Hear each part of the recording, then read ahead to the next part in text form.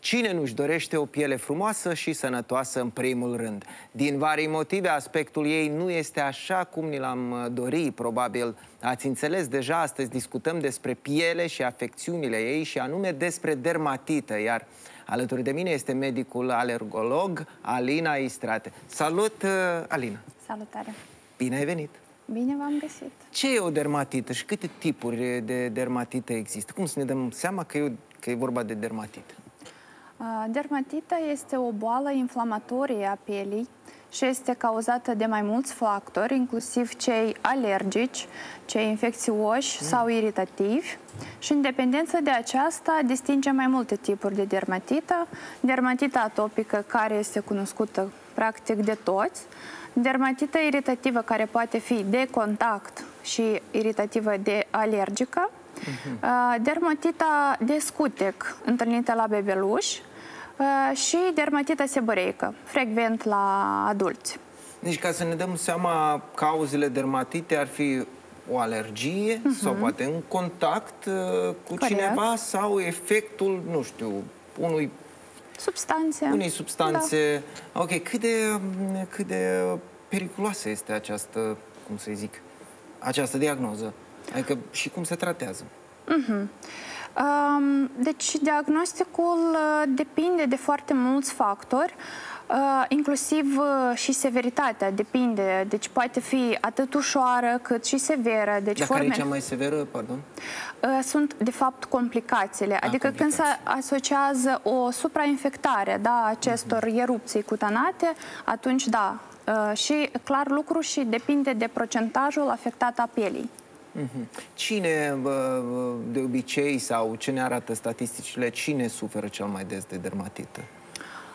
Conform Organizației Mondiale a, în alergii, deci 20% suferă bebelușii uh -huh. și doar 3% deci populația adultă. Mm -hmm. Deci doar 3% e predispusă spre...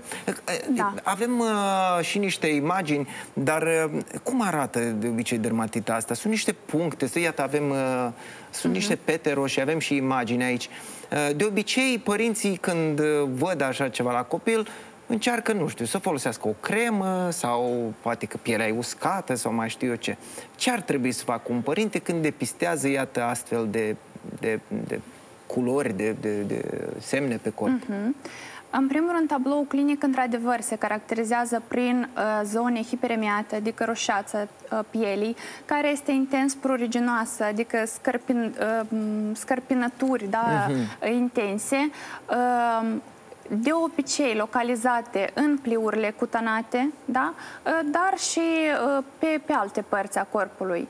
Ă, ce ar trebui să facă o mămică este în primul rând să îngrijească pielea bebelușului. Uh-huh. Chiar și dacă copilul nu este susceptibil pentru această patologie, oricum ar trebui să o îngrijească corect cu uh, produse uh, lipsite de uh, parfumuri, uh, substanțe iritante, uleiuri esențiale care la moment sunt folosite pe larg, uh, să hidrateze pielea cât mai frecvent după fiecare băițe. Băițele să nu fie de lungă durată, la temperaturi optime. Uh -huh. Să folosească uh, hăinuțe din țesuturi naturale, să nu fie în etanș uh, pe piele îmbrăcate. La fel, uh, să uh, schimbe frecvent scutecele pentru a nu provoca dermatita de contact și în caz în care s-a depistat într-adevăr un alergen, da, și medicul a pus diagnostic de dermatită atopică alergică, da, se evită acest alergen, însă să nu procedem la diete restrictive, da, să scoatem absolut tot din alimentația copilului, fiindcă în caz contrar riscăm ca copilul când va include aceste alimente în alimentație va dezvolta alte tipuri de alergii.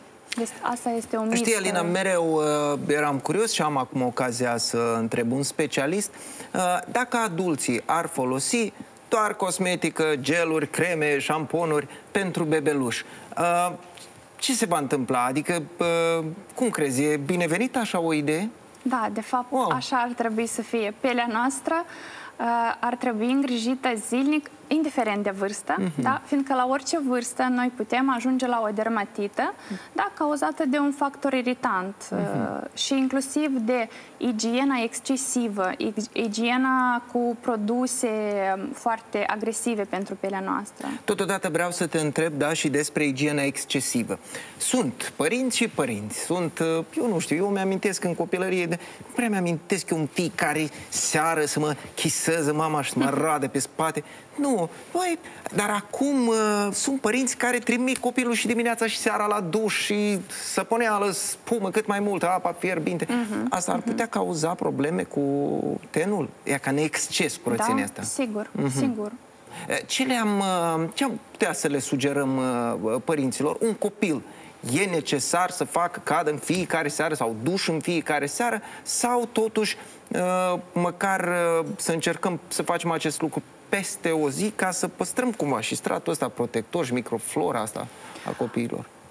Se poate și în fiecare zi să facem băiță bebelușului. Important, uh, temperatura apei să fie uh-huh. optimă, să, iarăși, să nu includem în rutina de îngrijire substanțele iritante sau uleiuri esențiale. Acum este... Sau sare de baie da, și tot da, felul de... Da, da, fiindcă pielea bebelușului este mai fragilă, da? Intrând în contact cu substanțe iritante, într-adevăr, are susceptibilitatea de a dezvolta o dermatită. Uh-huh. De asta uh, uh, doza este regina.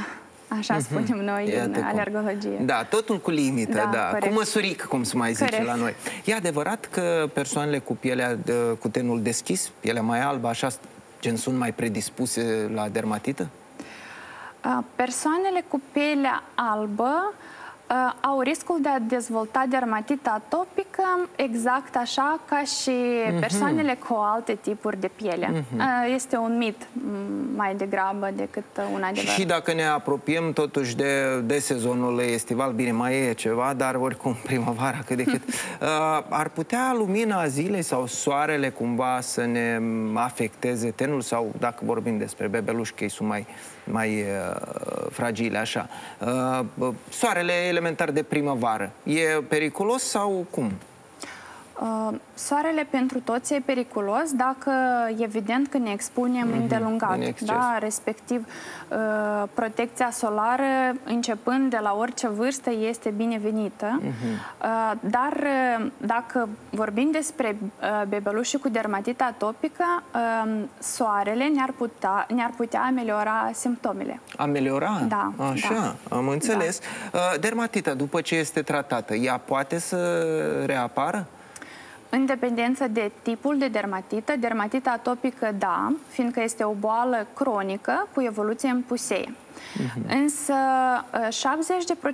70% din pacienții diagnosticați cu dermatită atopică, um, deci la vârsta mai adultă, totuși se tratează definitiv. Ceilalți rămân cu o boală cronică Uh, cu evoluția Am înțeles. Și nu pot să nu te întreb, uh, pentru niște cazuri mai ieșite din comună, așa, uh, dacă sunt niște metode, metode naturiste, de exemplu, pentru a ameliora cumva până ajungem la medic, până ne facem programare și nu știm că asta durează uneori, trebuie să aștept și o săptămână, dacă sunt ceva remedii naturale sau care am putea să le găsim ușor în farmacie? Din păcate, metodele naturiste ar putea fi factorul cauzal wow. da, a acestor alergii. Mm-hmm. Da, de asta cumva mai bine nu facem nimic da, de, decât să facem ceva incorrect. Mm-hmm. La bebeluș e clar, zona unde mă, mă rog, plasat acest scutec, e mai problematică. La adulți există o zonă anume a corpului unde dermatita e mai predispusă să apară sau nu contează?